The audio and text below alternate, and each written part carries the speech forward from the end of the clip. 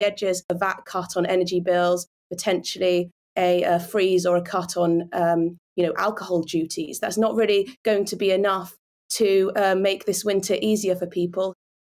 The Commons Speaker, Sir Lindsay Hoyle, has criticised the government, saying the number of pre budget press briefings is unacceptable.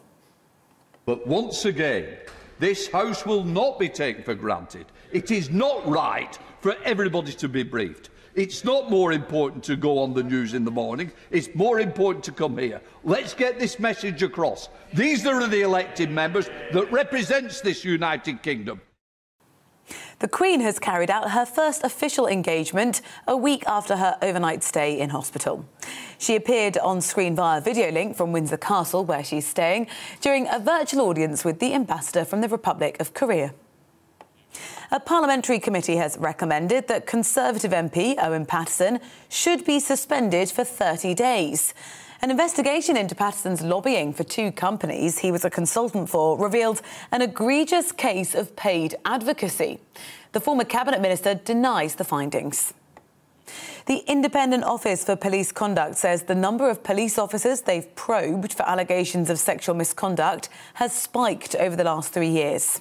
Last year, they investigated 70 police staff accused of abusing their position for sexual purposes. In 2016, they investigated 10. Between April 2018 and March of this year, the IOPC proved the misconduct of 63 individuals, 38 of whom were either sacked or had resigned. The mother of the two murdered sisters, Bibaa Henry and Nicole Smallman, has dismissed an apology from the Met Police. The force apologised to the family for their initial response to reports that the two girls were missing. The sisters were found dead in a North London park in June last year. Daniel Hussein will be sentenced for the double murder this week. Met Commissioner Cressida Dick says the force's handling of the case was below the standard it should have achieved. New research says women serving in the UK military are at considerable risk of emotional bullying, sexual harassment, and physical assault. A study published in the Military Health Journal showed that younger female officers are most likely to be subject to those behaviours. The study says harassment of any kind leaves women at risk of post traumatic stress disorder. A US judge has set a deadline for Prince Andrew to answer questions under oath in the civil sexual assault case against him. Both the Duke of York and his accuser, Virginia Giuffre, must complete written statements on this before the 14th of July. Prince Andrew denies the allegations made against him. Animal rights activists have scaled a government building, urging world leaders to invest in a plant based future. A group of protesters from Animal Rebellion, they're an offshoot from Extinction Rebellion, climbed the Department for Environment, Food and Rural Affairs at six o'clock this morning. Well, they say they plan to stay there indefinitely. James, on the side of the building, told GB News the government's priorities are wrong. UK government is being a public nuisance by spending 1.5 billion pounds of taxpayer money on subsidies for the meat and dairy industry. That's an industry that is ultimately killing the planet and killing billions of animals. In the meantime, it's spending 150 million, that's 10% of that, on planting trees and, and similarly on alternative proteins. It goes to show like the government's priorities in terms of propping up unsustainable and unprofitable industries over what's ultimately better for the public and the planet. Former Rangers manager Walter Smith has died aged 73. He led Rangers to 10 wins in top titles, as well as to the UEFA Cup final in 2008.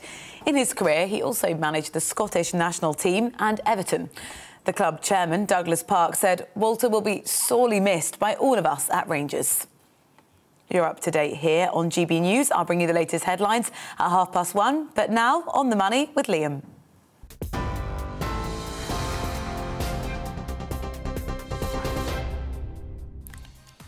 And this is On the Money.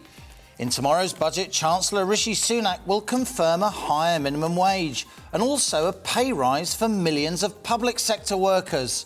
But will higher pay just generate more inflation, the very cost of living rises that higher wages are meant to address in the first place? We'll also be going to the northeast to visit Darlington, a proud town with a fine industrial heritage, in line, it seems, for some Treasury largesse. And we'll also have our daily Money Talks in depth interview. Hi, I'm Jenny, founder of Rubies in the Rubble. At Rubies in the Rubble, we take food that would otherwise be wasted and turn it into delicious tasting condiments.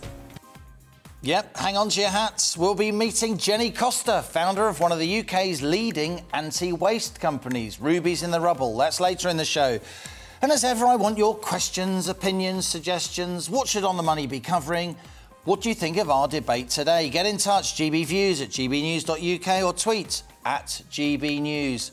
We'll be reading out some of your emails later in the show, so stay with us. This is GB News. I'm Liam Halligan, and yes, you're on the money.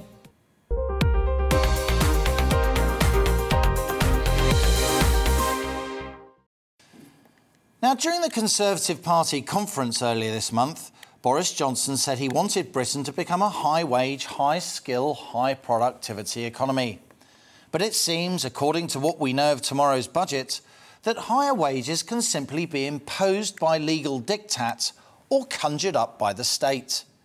Wage rises are only sustainable over the long term when firms increase turnover and become more profitable. If wage rises are really to stick, they need to reflect higher productivity. That's better working practices, improved machinery, enhanced skills and efficiency more generally, as the Prime Minister said. Tomorrow, when he stands up in the House of Commons, Chancellor Rishi Sunak will confirm the national minimum wage will rise for workers aged 23 and above from £8.91 to £9.50 an hour. That's a 6.6% increase. Rishi unveils a pay rise, screamed this morning's newspaper headlines, reflecting Treasury leaks that the two and a half million or so UK workers on the minimum wage will be paid more from next April. But of course, it's businesses footing the bill for this mandatory pay increase. The same businesses that also face rising national insurance contributions, soaring energy bills, higher input prices given supply chain shortages, no respite in business rates, and from 2023, a big hike from 19 to 25% in corporation tax. Few would begrudge the low paid a bit more cash, certainly not me, but this is a tough time with many of the small and medium sized firms that employ the majority of our workforce struggling to survive. We must hope this increasing burden on business doesn't cause too many closures. And while ordering firms to pay more, the Chancellor will tomorrow also confirm a pay rise for around 5 million public sector workers, including nurses, teachers, and the armed forces. Over the last year, public sector wages outside the NHS and for the lowest paid have been frozen to protect jobs during the pandemic and avoid a growing gap between public and private sector pay. From next April, those state workers will get a pay rise, the extent of which will be decided by independent pay review bodies. Labour points out that for many, these pay increases, quotes, will be swallowed up by tax rises, welfare cuts, and soaring household energy bills. And there's some truth in that. Yet when governments engineer multi-million worker wage increases, as is happening now, that can easily drive up inflation, meaning a higher cost of living for all. Already above 3%, inflation's officially forecast to reach 4% by year end, twice the Bank of England's target. Upcoming across the board wage hikes will raise firms' costs directly via the minimum wage and indirectly via higher business taxes, which could push up inflation even more. And that's Rishi Sunak's wage conundrum and your on the money question today. Higher UK wages, will they just cause more inflation?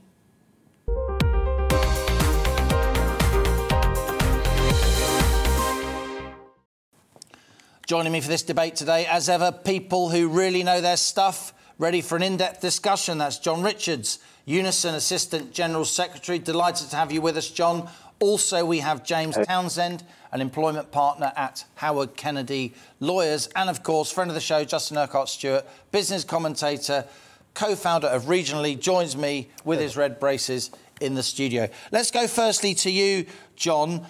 Unison is uh, the UK's biggest union, largely a public sector union. Of course, this is good news for public sector workers. How do you feel that Rishi Sunak has announced this today? Um, well, as ever with government, they always like to announce the good things up front, don't they? So we'll see what's actually in the budget uh, tomorrow and in the red book when we actually do the analysis. I mean, from our perspective, um, what we want to see is the government, the Treasury, actually putting the money into the government departments to fully fund any pay rise. Because the danger is that if you, if the government don't put that money in, and departments have to find the money themselves, then the only way they're going to find that is, out, is by cutting services or cutting jobs. And what we've already seen is uh, significant. We already have significant recruitment and retention problems in the public sector. 100,000 shortage of nurses in the social care sector, which is funded via councils. You have, a, you know, there's an expectation there'll be 100,000 shortages there. And the TUC have just done a survey fairly recent that showed a fifth of public sector workers are actively looking for other employment. So not just talking about it, actively looking. So there are some severe recruitment and retention problems that the government need to address. So to a certain extent, you can understand uh, why they why they are uh, taking this action. To you, uh, James. I mean, you, you will, in your work, you, you get into the, the real nitty gritty of, of wage negotiations and contracting and so on, and that's very, very important work. What's your impression generally of how wages fared during the pandemic for the private and the public sector and the wage differentials between the fifth of the workforce or so that work for the state across the UK and the four fifths of us who work for private companies? Yeah, well, I'd like to take you um, right back to where the debate started back in 1998 when it was the Labour government introduced the national minimum wage. and I think at that stage we were paying around £3 um, an hour, and it was decided that it was quite a modest level. Um, as years have gone on, obviously the national um, uh, minimum wage has increased. Osborne brought in the term uh, national living wage in uh, about 2016. And we've heard from the Chancellor that he's increasing uh, that wage from £8.91 to £9.50. That's still at a reasonably low level. Um, for example, in London, it's still going to be difficult to recruit um, at that level in certain sectors. There are, however, sectors, startup businesses, where it is necessary for there to be uh, lower wages paid, and that's going to have an impact on some of those uh, smaller businesses, undoubtedly. Um, of course, national minimum wage legislation does, of course, have um, exemptions. So volunteers aren't entitled to be paid uh, national minimum wage. Um, those that live with you as part of your family, so au pairs, that sort of person, they don't have an entitlement to national minimum wage. And it's only payable to those who are either workers or employees. So you do have a number of self employed people who won't be entitled um, to the national minimum wage. But it's been very interesting to see the evolution of the legislation, um, you know, from 1998 to where we are today. And we've been having this ongoing discussion as to whether or not it is a good thing. I think on the whole, business now recognises a place for the national minimum wage, so long as it's placed at the right level. Um, it's the National Living Foundation, I think, talk about £9.50 outside of London, but they're still putting it at a higher rate of £10.85 in London. Yes, it's worth filling in that detail, James. Thanks for mentioning those, those exemptions. It's also worth saying that the 891 to 950 is for the over 23s. From 21 to 22 year olds, the minimum wage will go up from 836 to 918, the Treasury tells us, and the apprentice rate, which is much lower, will increase from £4.30 to £4.81. It's worth mentioning those.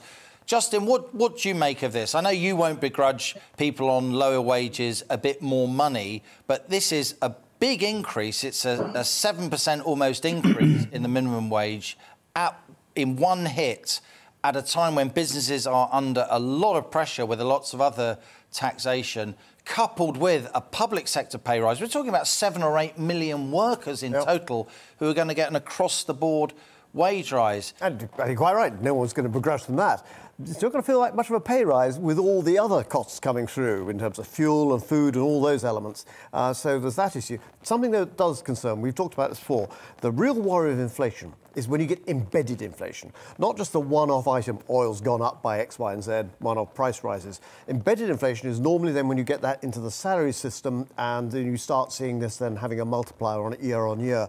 That takes us back to the 70s, and that's really difficult to try and manage. And we come back to the question of stagflation of an economy not doing so well with inflation in, in starting to embed itself in it. And that's what we've got to be really careful of. Of course, we want more pay rises. We want people to feel better off with, this, with these uh, costs coming through, it won't feel that brilliant. But this concern about the embedded part of it is the bit that worries me. John Richards, let's go back to you. You and I are old enough, with all respect, to remember the, the, the 70s when inflation expectations really get, got embedded in and we were well into double digit inflation, weren't we? 10, 15, even above 20% at one stage. We can come on to that, but the politics of this are interesting to me. I was at the Labour conference, as I'm sure you were. There were calls from some parts of the party for a £15 minimum wage, and Keir Starmer and most of the front bench saw that off and said, no, we want to stay at a £10 minimum wage as Labour Party policy. The Tories have gone quite a way towards addressing that, haven't they, with 950? And this 950, what it, you know, that's that's what it's going to be announced tomorrow. That doesn't depend on public money, does it? So that's what businesses by law will have to deliver. That's quite near what Labour wanted. Uh, it is, and, and it's interesting, as you say, that, that, it's a Tory government who are doing this. It is in line with what they predicted, though. This is something they said uh, as part of, you know, over the last couple of years, it's been a stated uh, objective of theirs to pull, you know, their their um, their policy on this data. So it isn't anything new or unexpected in that stretch. But I, I think, you know, as has just been said, the reality is is we, are seeing potential inflation up to 4% next year. Uh, so that's going to eat heavily into this whole process. And someone mentioned the difference between public and private sector. And I, I would note that in the last decade, that the public sector has suffered significant uh, erosion of its pay, wage, pay rate. So if you look at local government, for instance, there's been a, an overall a 25% real terms drop in wages in local government. So, you know, the, the public sector has been taking a significant hit over the years. It's not just the private sector where, uh, where, where, where wages have been under pressure.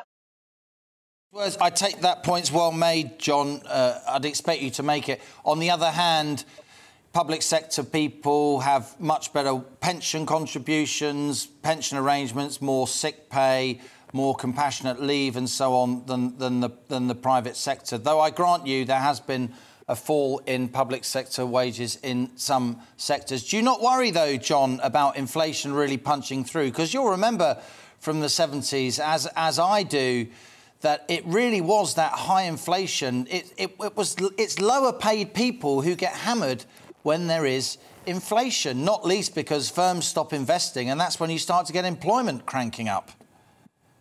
No, absolutely. You know, absolutely. There, there's a potential about inflation, but inflation eats into wages. And the reality is, if you don't fund wages anywhere near uh, the level of inflation, then more and more people lose out. What we see from low paid workers is the majority of money they spend is reinvested in the economy. Uh, something like 60% immediately goes back into their local economy. They spend more directly on food, they spend more directly on, um, on fuel. You know, they they they have a much better, better reinvestment in the economy. It's where, where wages are going up across the economy in other areas, I think, where you're gonna, you, it's going to have a worse impact. James, let me ask you briefly just before the break. Do you see more wage pressures coming through in the private sector as well? The proposals or the announcements that will be confirmed tomorrow, we're discussing today, impact around five, five and a half million public sector workers and around two to two and a half million private sector workers on the minimum wage. That's about a quarter of the workforce. Across the rest of the workforce, do you see wage bargaining pressures stirring? Do you see employees becoming more demanding to address these cost of living rises? We, we certainly saw a lot, especially during the pandemic. Um, private sector employers just couldn't employ people within factories. So there was market forces were already pushing uh, the national minimum wage up, if you like. So the fact of the Chancellor's announcement now, it's something really that I think he had to do. I don't think any of us believe that you could conceivably continue to employ people on lower wages, bearing in mind where we are with Brexit and everything like that. And also, you know, behind this, if employers aren't paying the national minimum wage, they can get themselves in a lot of hot water. Employees have individual rights that they can assert before an employment tribunal to bring claims of automatic unfair dismissal if they assert their right to be paid national minimum wage. If they're not then paid it, they will take their employers to an employment tribunal. It will be very costly. So uh, employers are complying with this, but to a large degree in the private sector, I think they're already paying these sorts of wages. James Townsend, lawyer, employment lawyer at Howard Kennedy. Stay with us. We're going to carry on this discussion after the break with Justin Urquhart Stewart, our friend of the show and business commentator, and John Richards of Unison. You're watching On the Money with me, Liam Halligan. We will keep this dis discussion going with all three of our fabulous guests, and the emails already flooding in thick and fast, as we expected. We'll be reading out some of those, so stay with us. This is GB News, and you're on the money. Hello there. Autumn is very much with us across the UK. Often quite cloudy out there through the day today. Some wet weather to come across Scotland, but very mild for this time of year. Now that's all down to our air coming up from the southwest. You can see these warm yellows and oranges produced across the map means that it is going to be a pretty mild picture. We have got weather fronts up towards Scotland bringing some rain and some fairly tightly packed isobars which bring a strong wind as well. Let's take a look at the picture across Scotland. We've already had some quite heavy rain pushing its way through during this morning. A brief lull in that rain, but then it turns heavier and more persistent for the Western Isles and Western Highland later on in the day. Strong and gusty winds, gusts of 50 miles an hour here. Elsewhere, quite a lot of cloud across the country. A few bright or sunny breaks, but very mild for this time of year. Highs of 17 degrees Celsius. Through this evening then, that rain starts to edge its way a little bit further east and southwards, getting into Northern Ireland through the evening, and then later in the night getting through into Northern England as well. To the south of it, it stays very mild. We'll have a few bits and pieces of drizzle across western hills. These are the temperatures we should be seeing by daytime in October, not the overnight temperatures with a keen breeze. As we go through Wednesday morning then, we've got this rain pushing its way in and persisting through much of the day. You can see it really doesn't move very quickly. So we have a rain warning in force. There is the risk of some flooding through Cumbria, southwest Scotland, some difficult travelling conditions as well. One or two showers to the west of Scotland. To the south of that rain band, another very mild day, highs of 18 degrees Celsius. That's 64 in Fahrenheit with a keen southwesterly breeze. As we go through Wednesday evening, then we'll continue to see this rain just trickling a little bit further southwards into northwest Wales. It stays on the mild side, a few clear spells as we go into the overnight period. And then it turns more unsettled more widely across the country through Thursday and Friday. Strong winds, the risk of some heavy rain. And as we head into the weekend, temperatures sliding away. I'll see you later.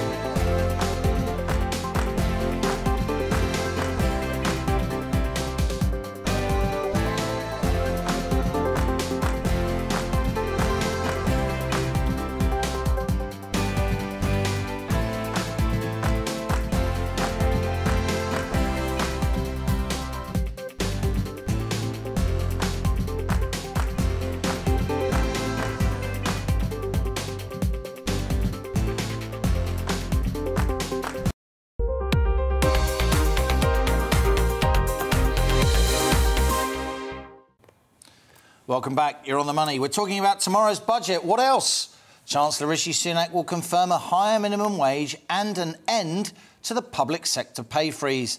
Designed to address rising inflation and cost of living increases, could these pay hikes generate yet more inflation, causing living standards overall to fall. We still have with us a fabulous panel John Richards, Unison Assistant General Secretary, James Townsend, Employment Partner at Howard Kennedy Solicitors, and friend of the show, Justin Urquhart Stewart. Justin, let me come to you first. We were talking about the 70s. Um, the difference between when inflation, of course, went deeply into double digits, even above 20% at, at one stage, one of the key differences is that back then, about 50% of the UK workforce was unionised. The state was bigger than it was in terms of employment. Now we have about between 25 and 30% of the workforce unionised. What difference will that make? A very different structure indeed. Yeah. The power of the unions then, whether you agree with it or not, was certainly extremely powerful and had a d- direct effect. We saw the level of strikes and uh, the disruption that went on. That was a, a, very difficult way to manage their way through, and that lasted over, what, 10 years, going right the way through from the days of Barbara Castle. Yeah. Um, and so this time it's completely different, but there are still going to be those pressures there. Yeah. And those pressures will be then coming from then smaller businesses saying, well, given this level of pay, minimum level, am I going to employ those people? Or am I going to find other ways of doing things? I mean, the trade unions still are powerful. I mean, a lot of. Oh. I mean, we've got we're about to turn to Unison. You know, very the biggest union in the country, very um, prominent and important and influential among public sector workers. And then you've got among private sector workers, a lot of people, if they've got the skills that are, in, you know, short supply, look at HGV drivers, Well, they can, re- they're not name their price, but they can certainly generate wage inflation. We discussed a few days ago about the opportunity that, that well, opportunities, the problems that would occur if those, there was a strike or a holdback in those HGV drivers. That could, in effect, create an economic lockdown without declaring a lockdown. Indeed. And that could be very dangerous for us. Let's turn back to uh, the Assistant General Secretary of, Un- of Unison, John Richards. I mean, how do you think the situation compares, John, with the 70s? You, will remember it as I do. There, there, there, was certainly disconsternation among some parts of the population that the unions were so powerful. But on the other hand, for some of their members, the unions did a fantastic job. How does then compare to now? Uh, you keep reminding me how old I am, which is uh, obviously only I, very only weird. I was a very, I was, I remember it too. I was a very young, I was a very young man in the seventies. I can assure you. No, no, absolutely, no. I, I do understand that, but we're, you know, we're not in the, the same sector, the, the same situation.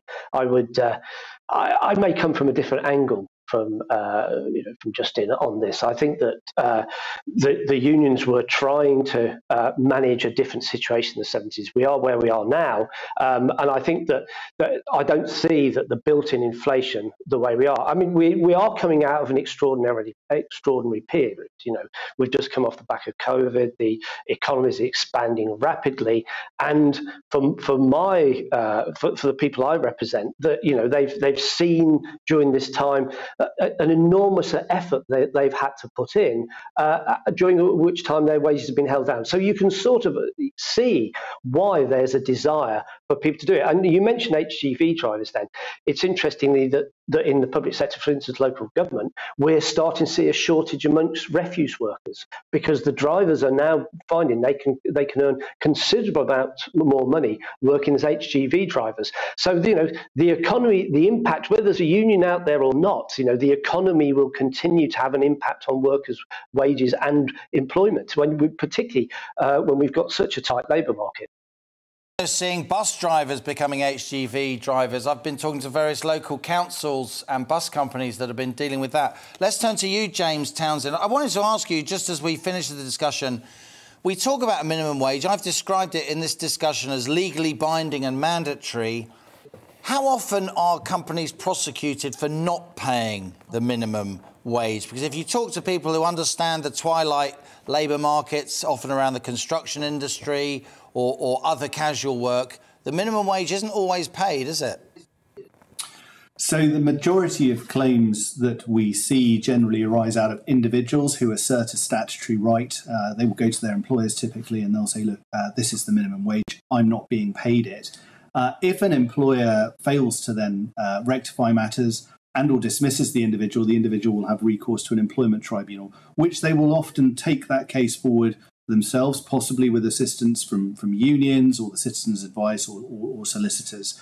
Um, in fact, the High Court has jurisdiction to hear national minimum wage claims in the same way that the tribunal does, but the tribunal is a much uh, sort of more claimant friendly forum for individuals to bring their, their claims forward. So, uh, if an employer fails to pay national minimum wage, they can be named and shamed, they can be fined by the government, but typically we see individuals pursuing their rights before an employment tribunal. The dif- difficulty at the moment. Is it a common occurrence, though, James? It, it's uh, you, have outlined the, the principle beautifully, but is, does that happen very often?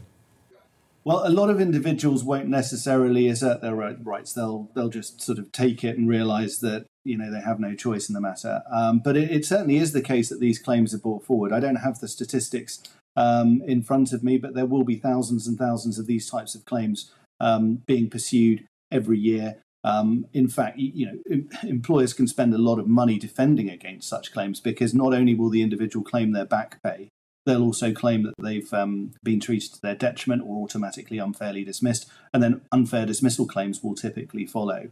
Um, so it can be a very expensive business for an employer if the employer doesn't get it right. Very interesting. I think that's a debate and a discussion and an investigation for another day. Gentlemen, thank you all. We've had James Townsend of Howard Kennedy, John Richards, of course, the Assistant General Secretary of the Unison Union, and friend of the show, Justin Urquhart Stewart. I'm grateful to all of you for the discussion today. You're watching On the Money with me, Liam Halligan. Coming up, we'll be, we'll be hearing from our North East reporter, Rachel Sweeney, about how a £3.4 million investment in Darlington may help transform the town. Plus, my much loved Money Talk series. But first, it's the GB News headlines with Rosie Wright.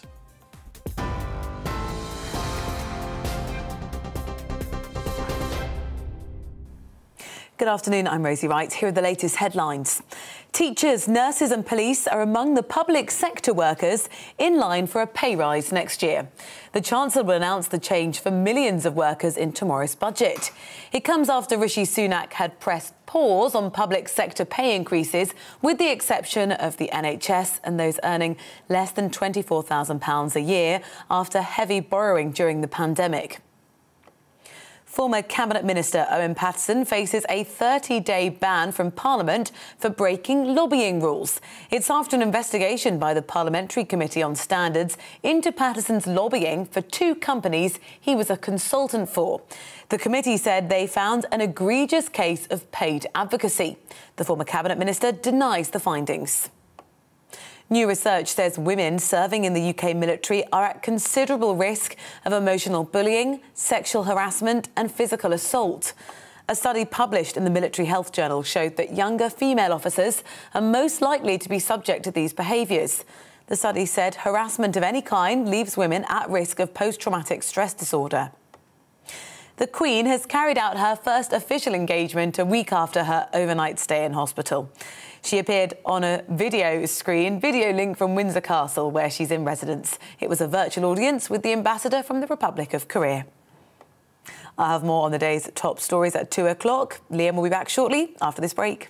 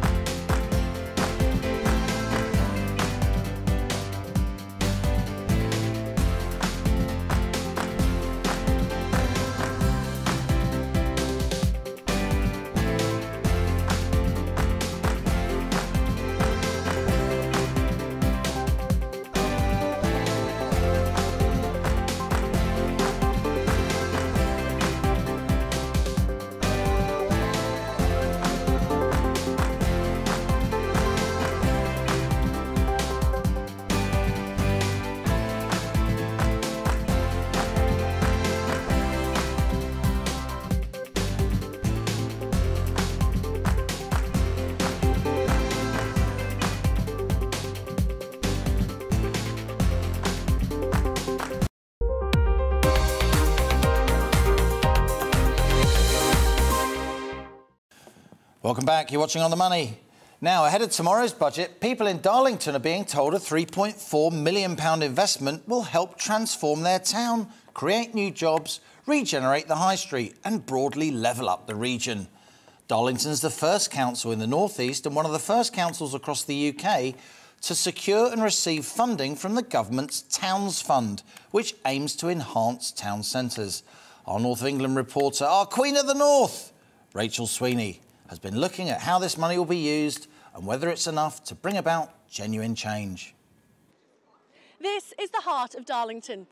It might need a little bit of TLC in places, but where doesn't? It's a successful market town. It has a solid community, loads of potential, and now investment from the government. It's hoped that this money will go towards long-term growth.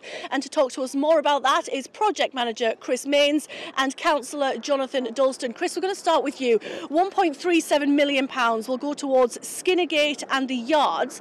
Now, for our viewers who don't know where that is or what it means. Can you tell us a little bit about it and what will change? Yep, Skinnergate in the Yards is a conservation area, it's a heritage area in the town, it's a, it's a very important high street within the town. It's, uh, as you mentioned before, it needs a little bit tender love and care, and that's what we're going to give it. So we've been doing some work in the yards already. It's with colourful doors and benches, we've made a difference. Think York Shambles, but on a smaller scale and uh, that's Darlington. That's what we're aiming for. Each has got its own creative strategy. We've got the strategy of Project Darling in the yards, and we're building a, a creative strategy for Skinnergate, which is looking to develop Notting Hill in Darlington, is, is what we're aiming to do. So it's high ambition, and this is just the start. They're quite an interesting part of Darlington, aren't they, the yards? The, um, an interesting history. Yes, yes. It's High is obviously what it, it, it says it is. It's High Row, where there's grand houses, the yards sit behind High Row, and sometimes I think they've got a less than salubrious past. I think you know it's it's it needs to be lifted up beyond that. But the buildings are there; it's 17th century and older in parts, so it's it's got a good history. Well, you're certainly well on the way. Now, Councillor, 1.47 million, a new facility at Darlington College. Can you tell us a little bit more about that? What will that mean to people here? Yeah, so we're really excited because we've been listening to businesses and now we're in a position to launch this really innovative T-Skills project. And what that's about is getting businesses to work with education providers to build packages that are going to be meaningful, so giving them the skills so they can actually come out with a qualification that's going to absolutely secure them a job and a career for the future. Important to invest in education, particularly in Darlington? Absolutely. You know, Darlington is about growth and, you know, we're getting loads of people coming to relocate. We've got the Treasury coming and that's going to give a confidence to people to come to the North East, come to Darlington to, to start, you know, setting up their business or relocating their business. So we need to be in a really strong position to have people with the right skills to fill the jobs that people need. Um, and moving on to half a million pounds for Adults Skills Centre. What is a skills centre and who will benefit from that? Yeah, so we're really, really proud in Darlington because we've got, a, we've got some fantastic buildings. As part of the Towns Fund, we wanted to protect some of those buildings and one of the ways we've done it is to secure the Northern Echo building. It's been a long-standing building in, in, in our town for a long time. So what we've done is we've bought that and then we're going to turn it into a skills centre and that's about giving adults the skills, again, that they need to do the jobs that are coming in the future. But not only just the skills in terms of technical skills, it's about behavioural skills, confidence, mental health, that type of skill. And we're expecting more people to visit Darlington. Is that why the train station is getting a little bit of a spruce? Yes, not just because of that, but we were, we're looking at Darlington has got a, a strong history and it's the birthplace of the steam passenger railway, celebrating 200 years of that in 2025. And what we're doing, we've got the modern station, which needs a spruce up, that's happening. And we've got the Head of Steam Museum, which has also got a project in line, we're looking towards that. So you've got the heritage looking towards the modern history of the railway. It is Darlington's proud history, I would say. Fantastic. And in terms of levelling up, is this enough money to do the job? It's never enough money to do the job. Um, this, it's an excellent start and we're really pleased with what we've got and we're really pleased to, to be looking forward to getting more there's a lot of work to do in Darlington in the town centre and up the gateways of Victoria Road in, in Northgate. There is a lot of deprivation and, and improvement that's required up there. I think this is the beginning and what we're trying to do is do it fairly for the people of Darlington. So more would do. And Councillor, will end on you. What do you love about Darlington and what do you hope for the future? I love its potential. I mean, there's never been a better time to come to Darlington, whether that's to live, whether it's to work, or whether it's to relocate and set up a new business. Darlington is absolutely on the up. Everyone across the country is talking about Darlington, and I think you can see why. There you go. Everybody across the country is talking about Darlington. Come and visit. We'll see you soon. There she is, Rachel Sweeney in Darlo. Now, before we move on, we've had loads of you getting in touch on the minimum wage increase and public sector pay rises. Marlena says all public sectors need serious audits. There's always demand for more money, but the waste is not looked at. Working in education, it's frightening to see how much mismanaged spending there is. Well said.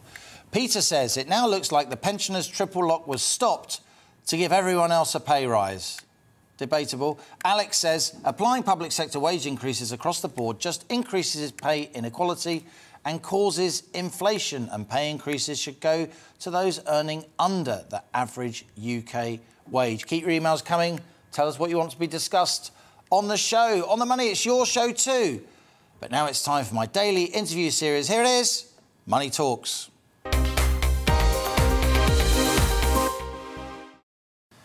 Now, today's Money Talks guest is Jenny Costa, the founder of Rubies in the Rubble.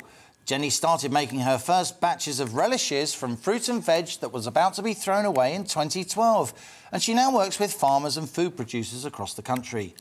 Rubies in the Rubble was among the very first movers in the anti-food waste space, and the firm's award-winning condiment range is now stocked across the country in leading supermarkets. Since launching, Rubies in the Rubble has saved over 100 tonnes of produce. Jenny, that's a lot of relish. it's a lot of relish. I think actually we're almost at 400 tonnes at the moment. So oh, I'm out of date, we've, as we've, ever. Uh, we've, um, yeah, it's, it's, an exciting journey we've been on. How? Why? Where? Where how did it start? Um, uh, well, so I, I, graduated with a Master's in Maths. I went into the city. yeah, I was going to say, you look like a mathematician. Everyone says that. um, and then uh, after two years of being there, I just mm. kept on thinking, I'm sadly not passionate about finance, and uh, you know, I wanted something I was passionate about. Yeah. And I was brought up on a farm. I read an article in the newspaper about bin divers one night. Yeah. And it talked about people getting around arrested. the back of supermarkets, food that's just out of date goes in the waste bin. Yeah, yeah. and people locking them, people sort of trying to yeah. live off of it. And it got me thinking about the food supply chain. I mm. thought you've got unpredictable weather on one side, mm. perishable food, unpredictable humans on the other side, and what happens when it doesn't add up. And in the middle of that, you walk into a supermarket and there's, there's ample, beautiful displays. And the more I started researching about food waste, I started looking into it, and some of the basic facts that we're wasting a third of all food that we produce globally, um, which in the UK is around 9.5 million tonnes. And if you think that there's 8.4 million people around in food poverty in the UK, it's wow. um, you know it's a ton plus per person. But, um, but it was more the, the environmental side that really hit yeah. me that agriculture is the single largest impact that we as humans have on our planet from deforestation, water usage, but from the carbon footprint uh, problem. Food waste alone, if it was a country, it'd be the third largest emitter after China and America. Wow. So food waste is, is, has got a huge carbon footprint to it. And if we're going to look at the future of our planet and look at um, the carbon reducing our carbon footprint, we have to address food waste. And rather than setting this up as a charity, you thought, no, I'm going to set this up as a business because I guess I then, I, I, guess then a business has a sustainable future. It doesn't depend on other people. Yeah, I mean, I've, be, I've always been really passionate about businesses being a force for change. That we are a capitalist society. Businesses have a responsibility to transform our community, to look after our community and our environment. And I really believe that, and I think there's, you're seeing it more and more, that humans and, and consumers, we want more from businesses, more than just a service. Mm. You want to buy into them, buy into what they believe in, and feel like with your purchase and the way you spend your pound is sort of vote for the future and, and how you want to live. So you're a bright person with a background in farming and finance and you had a big idea and lots of determination. How difficult was it at the beginning? Because back in 2012, this was not a commonly held idea or belief, was it, uh, that we should be taking food that's headed for the dustbin and giving it away yeah. for somebody else to make money out of it? Yeah, it was, a, it was a really hippie notion of food waste. I think people thought of bin divers, basically. Yeah. Um, and the more you looked into it and you more realised that so much was being wasted on the farm and farm level in manufacturing stage as well. I started researching it really heavily. Um, and the big thing for me was, you know, with wasting a third of what we produce and knowing that we have plans to double our food supply to feed the expected nine mm. billion on mm. the planet, mm. You know, what are, what are we doing? So I wanted a product that I could raise awareness around this need to value food again, see it as something precious, but also as a way of teaming up with farmers and saying, I'll take, I'll create a market for that, I'll pay you for that produce. It should be utilised. Um, but I'm very aware that those tomatoes don't have the shelf life to go mm. through a supermarket, sit on a shelf. But we can turn it into. It was actually my mum's old recipes that we started with, wow. which is why I started with chutneys and relishes. Yeah. And just thought this is a traditional way of preserving. Let's turn these vegetables into something that adds shelf life, adds value. So we can see some of your products there. Yeah. You've got tomato. You can, um, you can try these after ketchup. I'm, I'm, not going to dig my finger into them on on, on air, but uh, they look fantastic. You can, you can blind taste that against the nation's favourite and see what you okay, think. Okay, and what else have you got there? Um, we've got a range of mayonnaises. So this was our first uh, garlic range. mayo. This is a chili mayo. wow, fantastic. Um, and then I also brought you our pear and fig. Pear and fig, which is a keeps you regular, Mrs. As they as they say. You didn't think I was going to say that, did you? Uh, not everyone not. says that to you, do they? um, but what? So how did it? You had this idea and you had your mum's relish recipes. Did you have to put your own money in? Did you have to buy a kind of relish maker? What does a relish maker look like? Have you got a yeah. warehouse? Um, I mean, how, how do you how do you turn this into food? How do you how do you turn fruit that's a uh, hasn't got a shelf life according to the supermarkets into what's clearly a beautiful, high quality product that you can sell? Well, originally I started going along to wholesale fruit and veg markets at around four or five in the morning and then I'd cycle them home on my basket and, wow. uh, and rucksack. And I made just from my flat. My flatmates hated me, but just you literally started out on your kitchen table. Started out on the kitchen table. Wow. Started selling in small um, small markets around London. Anything that was cheap or I could get a slot on Saturday and then started, and then Borough Market gave me a, a, slot, which was great. What did your mates in high finance think? Do they think you? Oh, they she's finally lost it. Yeah, I mean the that idea. Jenny, we always knew she was a bit strange. Well, I was probably probably was thought of as a bit. I was always yeah. the like the martyr of the the photocopying machine and sending out leftover lunches and things. But um, yeah, I, I, they thought it was a bit crazy at yeah. the age of 25 saying... But a lot of people who start out in business, their friends think they're crazy at first, right? Yeah, I think you've got to, you've got to be seen Unless the idea sounds unreasonable, somebody would already have done it. Exa exactly. And I think especially starting making chutneys, they were like, that's something you do when you're 70. Um, but here we are today, almost 10 so obviously, you, you, know, you're supplying to, to Waitrose, you're supplying to Morrison's. You've got a, a bit beyond hanging around Borough Market in central yeah. London with a basket on the front of your bike. Uh, presumably, you have a sort of quite a major operation now. You employ quite yeah. a few people. Yeah, well, we've now um, so now we work direct with farmers across the UK. Uh, we have three different manufacturing sites, not of our own, with we third party. Yeah. Um, we're we're starting to work with Portugal as well. Um, so looking at different sort of expanding out of the UK. But it's um, it's been a really well received. I think everyone that grows or is part of the food industry, when you know how much work and energy and value, and you've got good food sitting there, you want to be involved. So it's been it's been a good journey. I think it's fair to say, Jenny, read, reading up on you, you were really at the vanguard of convincing supermarkets that they should give away their, if you like, surplus food. That's now completely a given, isn't it? That's now utterly normal behaviour by the supermarkets, and for them not to do it would be seen almost as immoral, whereas less than 10 years ago it was seen as mad. How has that changed? It's been, a, I think it's been a phenomenal change in, I think it's efforts from, from a government level, from supermarkets, from businesses. I think actually having entrepreneurial businesses coming up and changing things. But there was a big shift for us in 2014. Um, a report was sent out about food waste. Yeah. And Tesco's very bravely were one of the first supermarkets to stand up and say, we waste food. And I remember talking, we were talking to their sustainability team, and at the time, and we, we had an amazing um, ability to have a good audience because mm. we were the only people doing anything. And they said, we can either all pretend we don't waste, but food is perishable. And I can push it upstream and I can sort of say, farmers, I'm going to actually send it back to you if I don't sell it. Yeah, yeah. Or I can sort of buy one, get one free and chuck the waste into your household.